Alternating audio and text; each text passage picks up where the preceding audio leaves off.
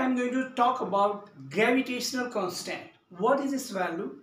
According to SI system, the value of gravitational constant which is denoted by capital G is 6.67 into 10 to the power minus 11 Newton meter square by kg square. Look at this. Value of capital G, gravitational constant is 6.67 into 10 to the power minus 11 Newton meter square by kg square according to SI system. Now today we are going to convert it in CGS system. Question is convert the value of capital G in CGS system. Now how can we convert? Look at this.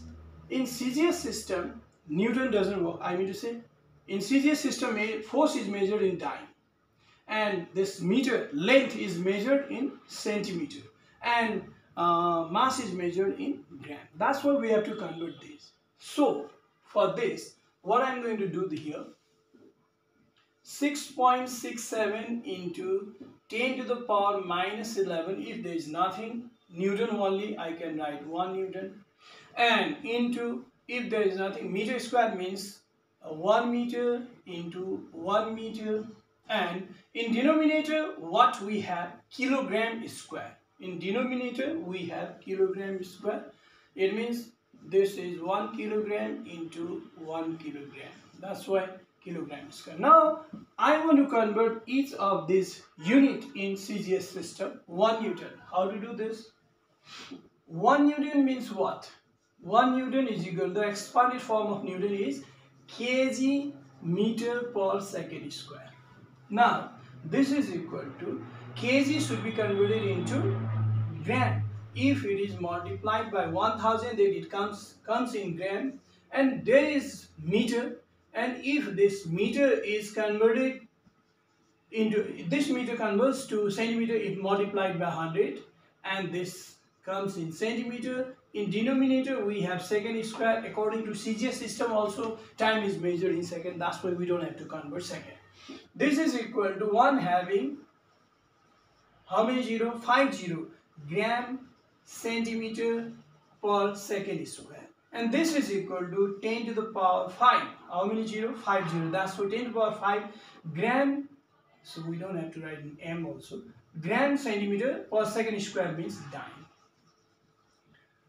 in CGS system, force is measured in dyne. That's why in place of 1 Newton, what I'm writing here, 6.67 into 10 to the power minus 11 into 1 Newton is equivalent with 10 to the power 5 dyne into 1 meter is equal to 100 centimeter another 1 meter 100 centimeter and this is numerator now in denominator 1 kg into 1 kg 1 kg has got 1000 gram into 1000 gram again now this is equal to this 2 0 and 2 0 2, 0, 1, 3 and 4. These are cut down now 6.67 into 10 to the power minus 11. This 10 to the power 5 we can write here plus 5 if same base power can be subtracted or added. Now this is equal to this much dyne and centimeter square centimeter centimeter centimeter square. Here we have how much?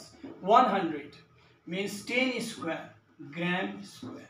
This is equal to 6.67 into 10 to the power minus 11 plus 5 means minus 6 dyne centimeter square.